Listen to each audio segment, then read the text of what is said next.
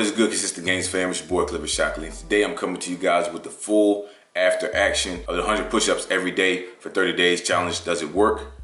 And uh, I have a couple questions from a lot of people that they've sent me. And uh, if I don't cover your question, you can comment down below and I'll see if I can answer it for you. But uh, let's go ahead and get into it. So the first question was, what is the hardest part of the challenge? I think the hardest part of the challenge was being able to upload every single video every single day, edit and upload every single video every day. The 100 push-ups themselves, the hardest part was recording them because to do 100 push-ups is not hard for me, but to consistently do it for 30 days, to stay, to make that new habit stick with it for 30 days, that was probably the hardest part and all it uploading to YouTube every single day. Um, any tips for someone who is new to working out? So when you're first starting out, you're gonna be sore Definitely gonna let you know that. But it's all about the intensity that you're doing it at. As you can see, I am I've been working out as a calisthenics athlete practitioner for a long time now. So for me, muscle soreness, muscle recovery, I'm used to it. So for me, I can I can go higher intensity and try to do my 100 push-ups done in four minutes and everything like that. But for someone who's just starting out, I recommend the uh, 10 push-ups every minute for 10 minutes straight, or even five push-ups for 20 minutes straight or just do them throughout the day because uh, the soreness might make you not want to continue to do the challenge. So it might make you give up. So I'll recommend the intensity being lower for yourself.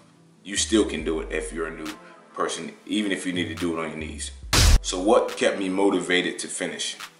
Obviously, I could not let the CG fam down. And also, me seeing the gains that I was making, the consistent gains, my push and strength was getting incre incredibly uh, stronger to myself. Um, push-ups just became easier. It felt like I was breathing, felt like nothing to me anymore.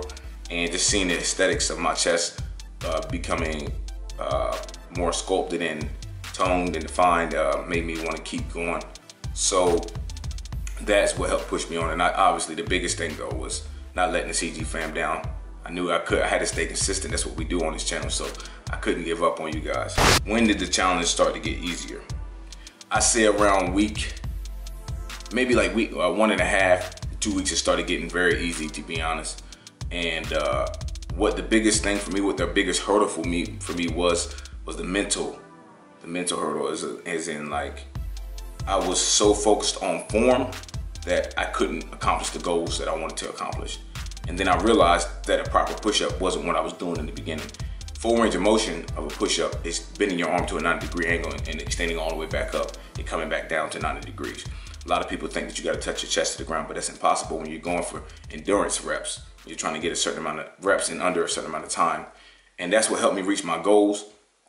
And doing it consistently all these days helped me to build the strength and just become to the point where it was nothing to me at all. Does it work? That's what everybody's here for. So, yes, it does. It will help you get in shape. It will help you get a a baseline of, of basic strength to carry over to other calisthenics moves. And it also will show you that you can stay consistent with something for 30 days. That's the biggest takeaway from this challenge is being able to stay consistent and proving to yourself that you're not gonna give up on yourself. That's the biggest takeaway for this challenge. And it definitely does work because when you're doing it, you're pretty much working out your core, you're working out your glutes, you're obviously working out your chest, your delts, your triceps.